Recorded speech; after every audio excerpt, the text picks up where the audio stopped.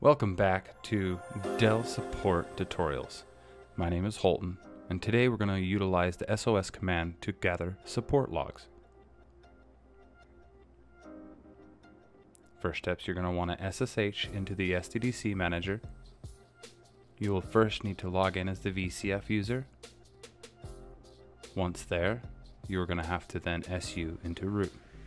Now that you're logged into the SSH session of SDDC manager, you can see in the notepad behind that these are all the syntax that you can use for the command to gather specific logs. During a support session, we may not need everything. We may need certain logs at certain times. We may not want to worry about a health check. And we may not want to clear an old log bundle. For the testing purposes of this tutorial, we're just going to run it without the health check. So the log collection utility is located in forward slash op forward slash VMware forward slash SDDC support forward slash SOS. And then you input the desired syntax with a dash dash zip. Now the zip will actually, at the end of the collection, zip up and get one bundle for you.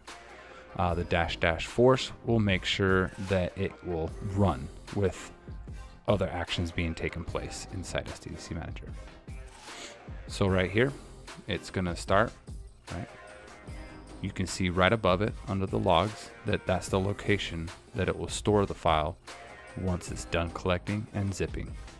That location is var log VMware VCF SDDC support. And then it will be the date, SOS, and then the date. And it is a tar.gz file.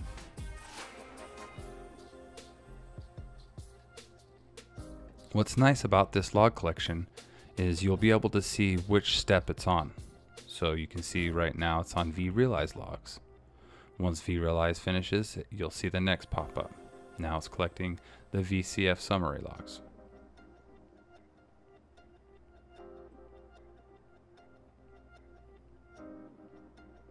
The next one to pop up, you'll see the next collection. Now we're going to fast forward the video just a little bit because this log collection does take quite a bit of time depending on how many nodes you have in your workload domains and um, how many separate components like vRealize, VROPS, and, and NSX and stuff like that. So once it's done, you'll get a completion. It'll sit there and look like it's hanging for a while. Don't worry, this is the process of the zip. So if you want to, actually you can log in now with WinSCP or FileZilla using the VCF user. And the location of the files is, like I mentioned before, it's going to be, let me scroll up here, var log VMware VCF SDDC support. And then it's going to be labeled as SOS and then whatever date and time you gather the logs. So if you want to watch the zip just to see how large it's getting, you navigate to that directory in WinSCP or FileZilla, and then you will be able to monitor once the SSH session returns you back to a prompt, you know that the zip task is complete.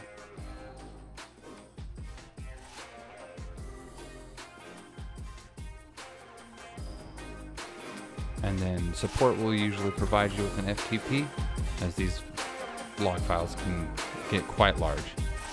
I believe the one in this tutorial ranged from about 17 gigs.